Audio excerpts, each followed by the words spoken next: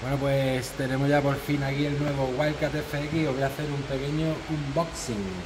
Esto que veis brillante del sudor, del calor que acabamos de descargar el contenedor. Bueno, si digo la verdad, no he hecho nada, pero hace mucho calor hoy. Bueno, cuando abrimos el calle lo primero que tenemos que hacer es abrir el tambucho frontal y nos vamos a encontrar lo siguiente. Dentro del tambucho nos va a venir una base raíz completa, un cañero raíz tipos palometas, dos tornillos con palometa, ahora os voy explicando para qué sirve, ¿vale? Un recambio de línea de vida, un recambio de elástico, otro recambio de línea de vida, los tornillos de la base, recambio de puentes, que ahora os enseño dónde van, recambio de pasacabos, recambio de sujetapalas y eh, recambio de los clips de la pedalera, ¿ok? Todo esto viene dentro del tambucho de proa. Así que bueno, lo primero, lo demás más o menos tenéis claro, aunque os explico. Este tipo de cogida. Os explico dónde van. Eh, tenemos, nos encontraremos que viene el asiento, que viene también puesto en el calle boca abajo, simplemente lo abrimos y estas palometas van en la cogida delantera del kayak, ¿vale? Solamente lleva la cogida delantera, la trasera no necesita nada. Vienen unas pletinitas dentro, esto se puede deslizar, el de atrás queda móvil y el de delante cuando lo fijemos ya el kayak no se va a mover, ¿vale? En este caso vamos a posicionarlo, como os comentaba en vídeos anteriores, tenemos posición baja o posición alta o posición alta con baja. Si queremos voy a sacar esta cajita que la he puesto aquí para explicaros algo ahora después. O alta con alta o baja, en fin, tenemos tres o cuatro posibilidades distintas. Cuando tengamos la posición correcta cerramos con nuestro clip a un lado y al otro. Está cerrado. Y en la parte delantera recomiendo que cerréis también. Y cuando esté cerrado ya apretamos y cogemos la distancia que queramos. Ahora mismo podemos deslizarlo como veis a la distancia que elijamos. En este caso lo voy a poner atrás del todo.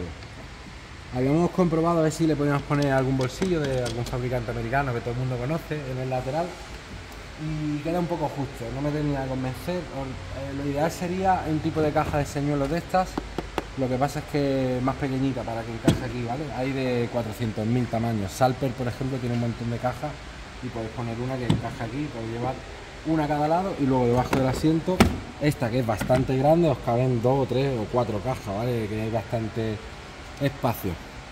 Bueno, la pedalera. Una vez que la recibáis,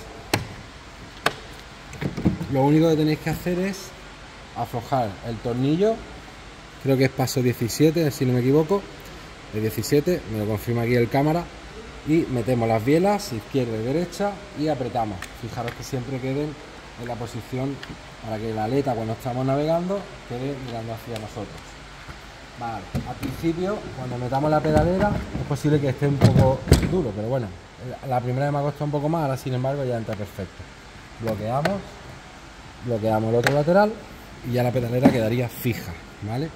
Sabéis que apretando en el centro podemos darle diferente distancia de, la pedalera al asiento, ¿vale? En este caso la acabo de poner al número 6, queda bastante distancia y como os comentaba, tenemos el cajón este que en el futuro, no muy lejano, tendremos la posibilidad de elegir pedalera de aleta o de hélice en el mismo kayak.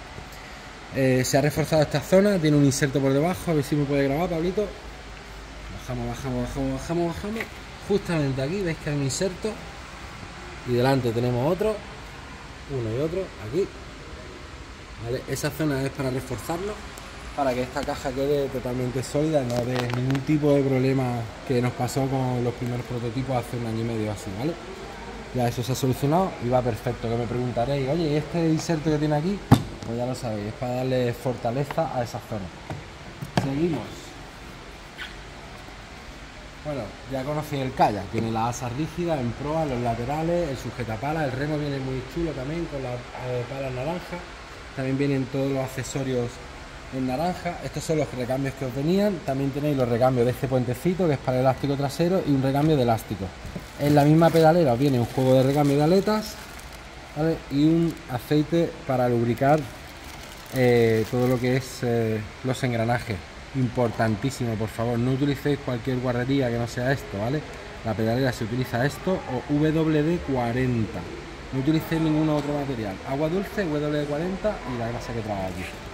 Vale, el timón es muy fácil de instalar, ya viene prácticamente montado. Lo único que hacemos es le quitamos este corchito, este pasador que tiene aquí lo sacamos también y que no esté la cuerda liada, metemos la cuerda, el, perdón, el timón aquí y le ponemos el pasador por debajo. Aquí y aquí. Así quedaría el pasador puesto. Y luego tenemos los... Bueno, lo están bajando. Ahora explico cómo se baja. Es automático, ¿vale? El timón sube solo. Pero bueno, lo siguiente que tendríamos que hacer es aflojamos aquí. Lo metemos en su sitio y le ponemos. A ver, personalmente yo esta tuerquecita pienso que debería de venir con un freno, que no lo tiene, ¿vale? Lo intentaremos pedir para las siguientes versiones. Eh, os recomiendo que le pongáis una tuerca con freno, que no tendréis un poquito de pegamento, ¿vale? Que a lo mejor no se sale, pero bueno, yo creo que debería de tener freno esta rosca y como somos, estamos aquí para mejorar, digo las mejoras que se le pueden hacer a este kayak. En el futuro vendrá, pero os lo recomiendo. Vale, una vez que tenemos aquí lo ideal es darle la tensión que podamos, ¿vale? En principio lo voy a apretar prácticamente a tope y el timón que se lo bajamos desde aquí. Este cabito que viene con una bolita, si tiramos, el timón baja. Y cuando esté abajo el timón,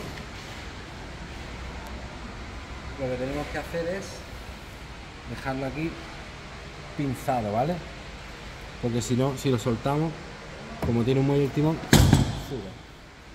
Así que lo suyo es dejarlo aquí pillado, el sobrante lo echamos dentro y luego ya con la maneta de timón que estaba por la otra banda, pues ya vemos cómo gira. ¿Vale?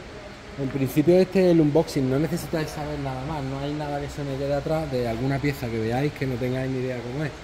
Así que bueno, espero que os guste tanto como nosotros este Wildcat FX y en concreto este color a nosotros nos flipa, no sé, ¿qué pensáis vosotros?